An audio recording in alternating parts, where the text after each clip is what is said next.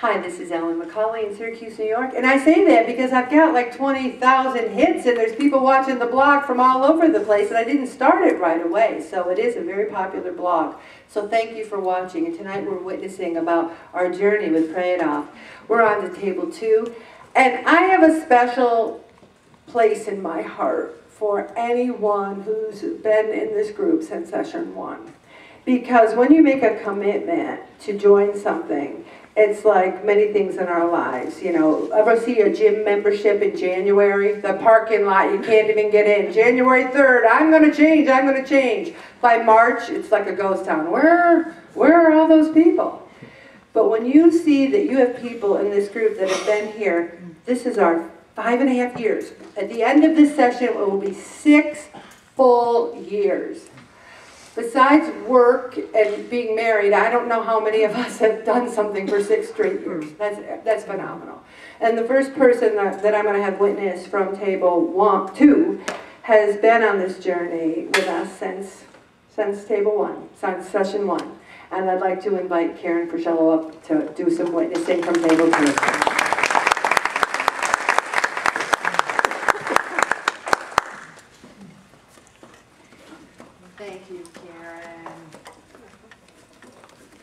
I'm Karen, and um, I was one of the first members that came through the doors through session one. And I just happened to see it in the bulletin, and what caught my eye was free. Didn't have to pay anything because my biggest qualm with, I've been to Weight Watchman and all these other groups, how much money do you spend on those things? And you're, you're there for a while, and you do lose the weight in that, but it suddenly it creeps back on, but you're still paying the money for it all and everything. And I have been a heavy kid. I have been heavy all my life. So I figured, well, this is just one more thing. It's free, so I have nothing to lose, so I'll just go and see what it's like. What I found was it was a lot of fellowship. It was a lot of time for me to reflect on myself. I give myself time every week um, to just think about me for an hour. And that really helped because I think for a lot of us, a lot of times our weight is like that junk drawer in our house. We just keep pushing the stuff in there and we shut the drawer as fast as we can. And it gave me time to reflect and look and see where I wanted to go with myself and how I wanted to take care of my health.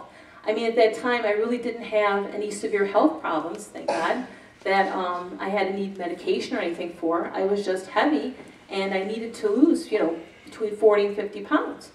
And so it was like chipping away at granite, Ellen would say. Every week, another pound, another two pounds. But it kept adding up and adding up. And to the point where I'm not at my goal weight yet, but I'm 40 pounds lighter than I was when I walked through the door. And I feel very good about the fact that, you know, it's been a gradual lifestyle change. It didn't happen overnight. It's going to be six years in January, and when I went and started in January, I wasn't exercising the way I do now. I mean, I exercise every day. I love Zumba. I go to Zumba. I mean, I'm a fanatic. If anybody wants to come, I'll, I'll take you with me and you can join. but I mean, those are things I wouldn't have done. I wouldn't have tried doing hula hoops, or I wouldn't have tried doing aerobics, or jogging or any of those things. Um, and so those are things now that I find part of my interest that I didn't have before. I wasn't a person that moved a lot. Um, I was more cerebral, I guess. Um, but the other thing is I changed um, my choices in food. It just was a gradual change. I found out, you know, with my health and that, that I have a gluten sensitivity that I really didn't recognize until I started losing the weight and having other issues in that, that he did have that. And I'm much better off now trying to stay away from gluten. I tried now I'm staying away from more dairy and things like that. So I mean, it's just a gradual thing. It's not going to happen overnight. It's not going to happen tomorrow, um, weeks, months from now. But within six years, I mean, if you're still standing here in that, and we hope you all are, um, the fact that you have fellowship and you have support, and that every week is a new beginning, is a great thing to look forward to. And the fact that you put God in the mix makes it all better. Amen.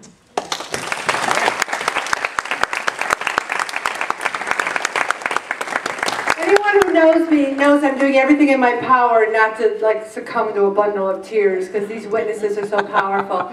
I'm going to take a little break with session with table two right now, and I'm going to bring up someone that this is very difficult for her to um, do public speaking. And when I she's she's lost 80 pounds and kept it off for years from Pray It Off, and she's witnessing tonight, even though it's difficult for her, because she wants to let new members and seasoned members as well hear what she has to say about the group. And even though she's not at tables one, two, or three, I said she could do it tonight to get it over with. Come on up, Judy Frank, 84 times.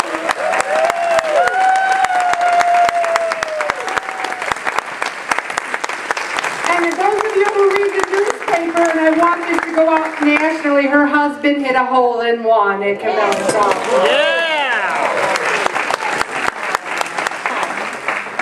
Um, I'm going to tell a story that I don't think even Ellen knows. Um, most of you have started your weight loss after you met Ellen. I actually started mine uh, just a little bit before I did.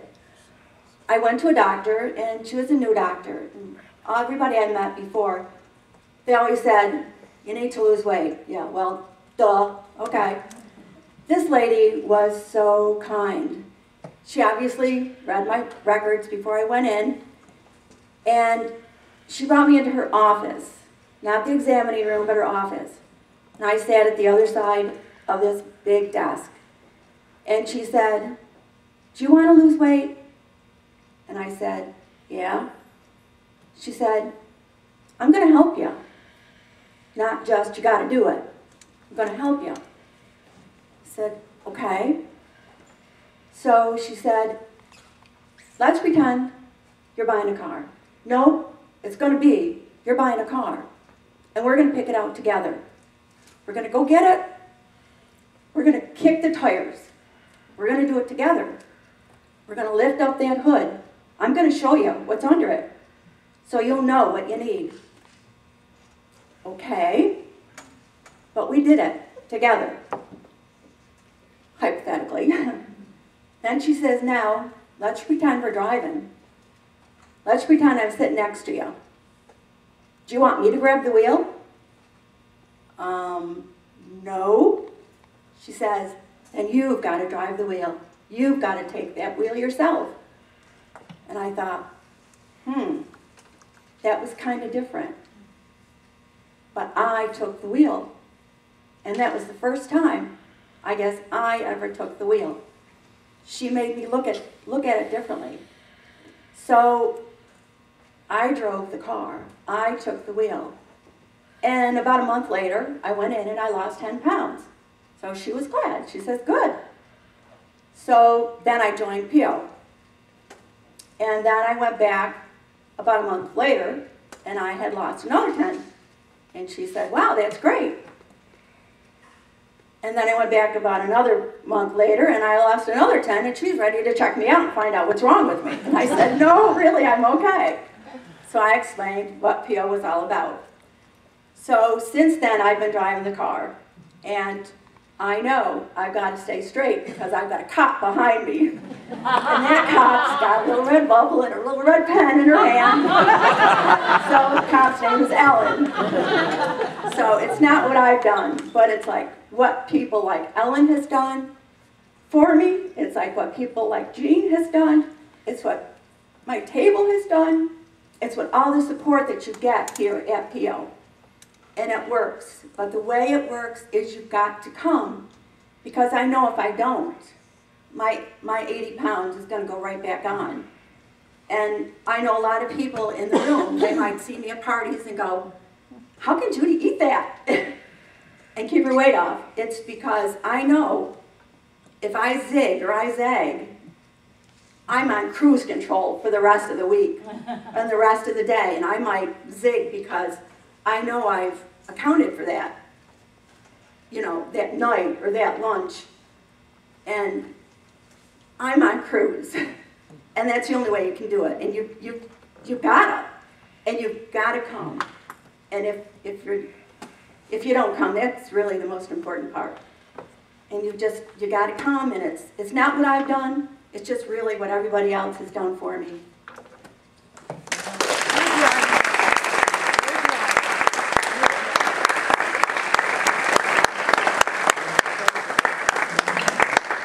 I love her so much. I love everyone in the group so much. And you know, I work full time and I come here because I too believe in the group. And that's so true.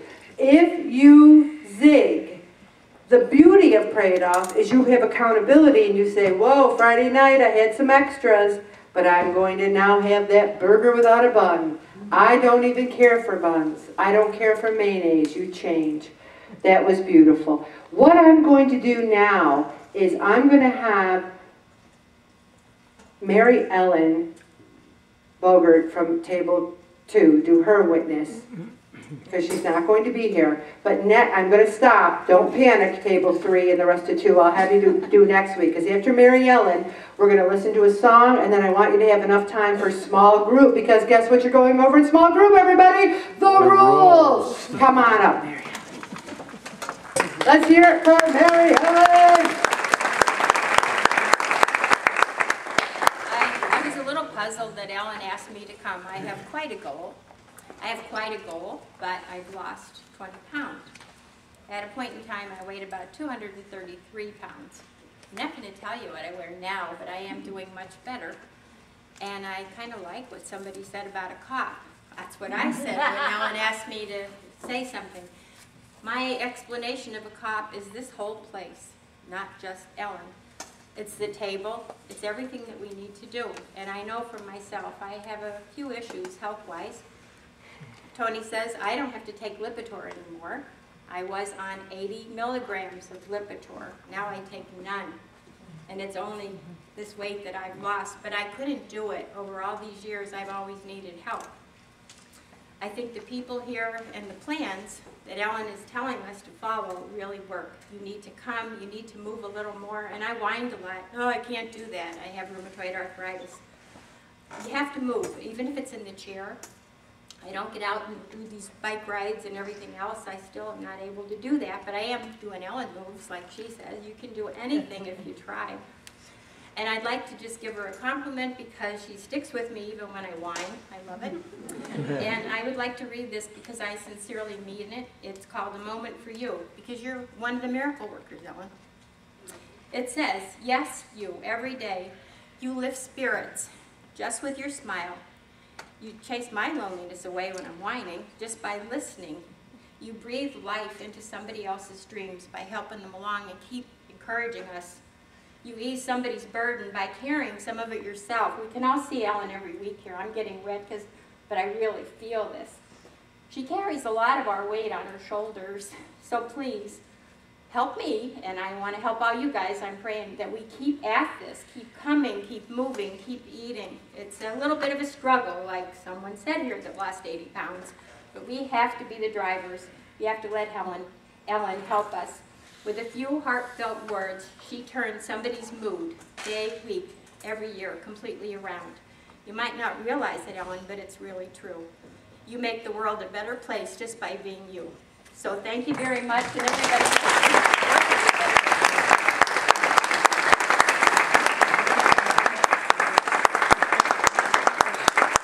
I'm so deeply moved, and I also want to mention, especially to the Session 12 people, that when I started, when Karen walked in here that first night to see who was leading the group, I weighed 370 in 2007, but I had gotten way down to 338. So here she is sitting there going, now, when's the weight loss leader going to get here? Because I see that 338 pound woman up there, it can't possibly be her. Why do you think I have such affection for session one people? Because we did it for together. And you might look at me now and go, she don't look much like Twiggy, and I don't, and I never will. And I am work. I I'm a member. The Grecian hair formula for men. I don't just facilitate this group. I'm a member.